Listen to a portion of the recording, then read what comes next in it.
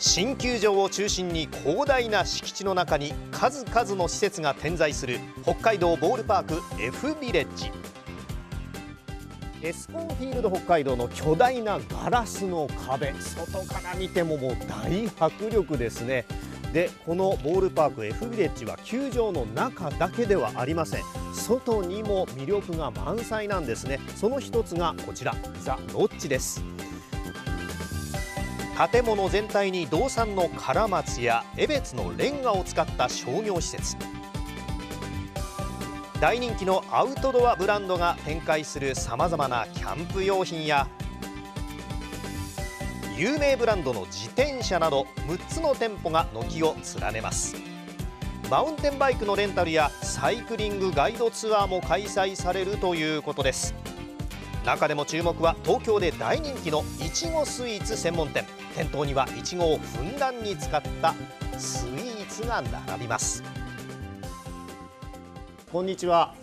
おすすめは何でしょうか？これは生いちびこミルクです。ほうこれはどういった商品ですか？こちらは生のいちごをたっぷり使用したいちごミルクになります。生のいちごなんですね、はい。ではいただきます。おおそんなに甘くないですけれどもすごくこういちごの本来の味っていうのは楽しめますね。こちらは一棟貸し切りで利用できる高級なヴィラ。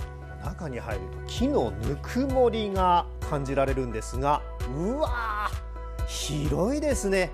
大きなガラス窓そして天井が高い。ここにも木を贅沢に使っていますね。いやとにかくゆったりとした部屋の作りになってます。ダイニングテーブルそして大きなベッド。うわーもうどこにいるのか忘れてしまいそうなぐらい。贅沢な空間ですね。さらに浴室もすごいんですよ。開放感あふれる場所にはジェットバスの浴槽。広々としたプライベートサウナまであるんです。このプライベートビラは全部で9棟1棟あたり最大5人まで利用することができます。一日中ここに座って眺めていても飽きのこない景色が広がっていますよね、えー今はこう雪景色なんですけれどもこれが溶けて春夏になりますとこんな景色が広がってるんですね。緑豊かなこの風景の中水辺越しに見るエスコンフィールド。もう絶景ですよね。その F ビレッジの中でもひときわ目立つ大きな施設が大手農機メーカー久保田が手掛ける農業学習施設です。Feature Yachi Naoki 久保田といえば先日多目的四輪駆動車がリリーフカーに採用されお披露目されました。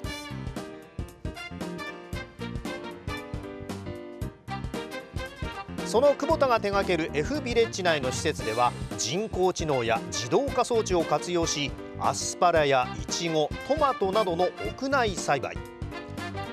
最先端の農業技術の展示など食と農業が学べるガイドツアーなども予定されています。また新球場を一望しながらこだわりの食材で作った料理を楽しめるカフェも併設されています。こちらはテントなどの道具がなくてもキャンプ気分が味わえるグランピング施設ですね。ああもう焚き火の火がいいですね。うわー癒されます。このグランピング施設はバーベキューをするための焼き台も貸してもらえるので食材を持ち込んでバーベキューを楽しむこともできるんです。お食事を楽しんだ後は屋内でのんびりとという形になりますね。うわーこちらも広々とした作りになっています。大きなキッチンそして大きなテーブル。まあ6人掛けになっていますからねご家族やグループで楽しめるんじゃないでしょうか。で寝る場所はと言いますとロフト付き2段ベッドになってるんですね。そしてもちろん大きな窓からはエスコンフィールド北海道が室内は冷暖房などが完備されていて最大6人が宿泊可能なグランピング施設。新球場を眺めながら気軽にアウトドアが楽しめます。